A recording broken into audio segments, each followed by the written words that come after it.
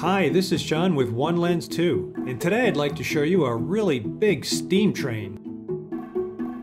The Union Pacific Big Boy steam locomotive, number 4014, was originally built in 1941 and was in service until 1959. When Union Pacific restored it in 2019, it regained the title of the largest, most powerful, and I would argue coolest, operating steam locomotive in the world.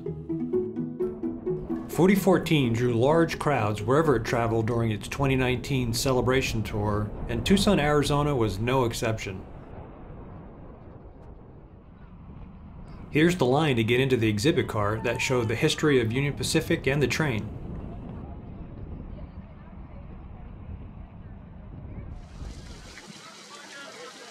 I think the water tank is full.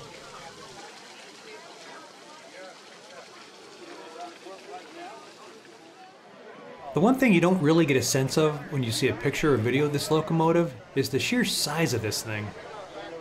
It's over 132 feet long with the tender and over 16 feet tall.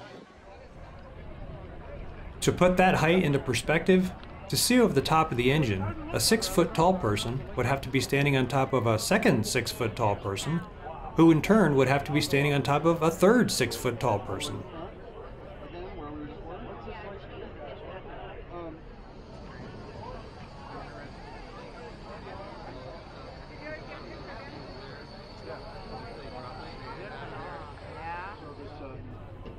When the train was stopped at the designated locations, Union Pacific folks were out talking with people and answering their questions.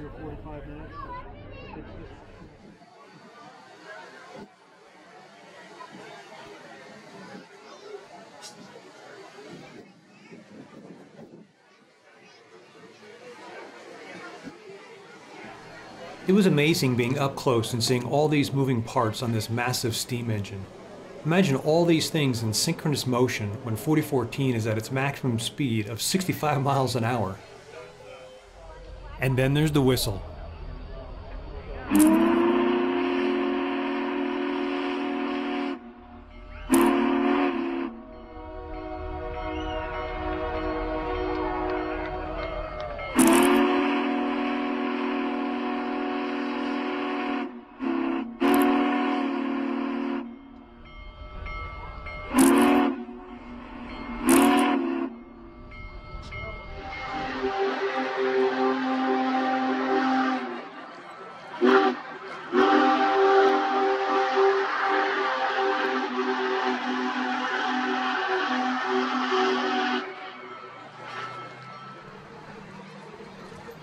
Can you imagine what it would have been like in the 1940s to see this beast of a machine rolling towards you?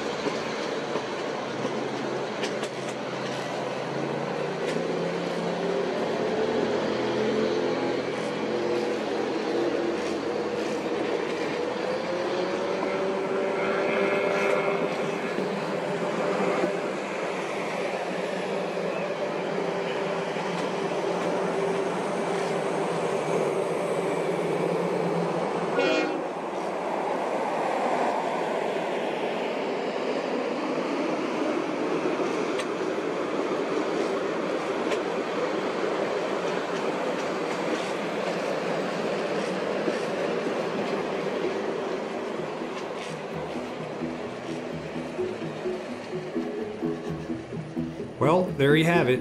An articulated 14-wheeled 7,000 horsepower steam engine out on the rails in Arizona. Amazing.